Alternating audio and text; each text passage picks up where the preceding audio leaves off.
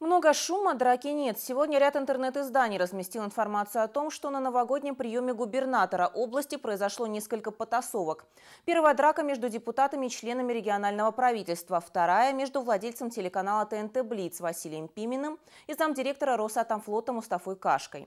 Никаких доказательств и комментариев, подтверждающих эти факты, нет, заявил Александр Волков, пресс-секретарь Марины Ковтун. В связи с публикациями в ряде информационных агентств сообщений об инциденте, который якобы произошел 25 декабря на предновогоднем приеме в Конгресс-отеле «Меридиан», заявляю следующее.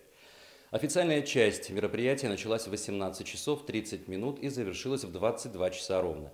Встреча эта ежегодная и проходит в преддверии Нового года – на прием были приглашены главы муниципальных образований, депутаты Мурманской областной думы, представители силовых ведомств, бизнес-сообщества, исполнительных органов государственной власти.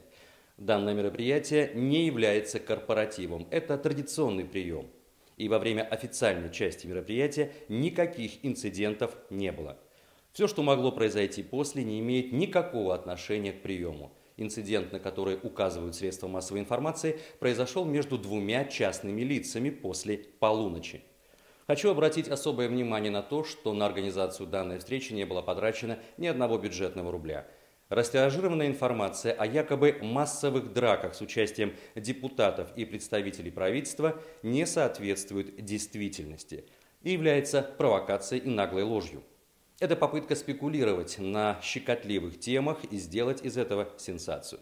Кроме того, в публикациях ссылались на комментарий пресс-службы областного правительства. Эта информация также недостоверна.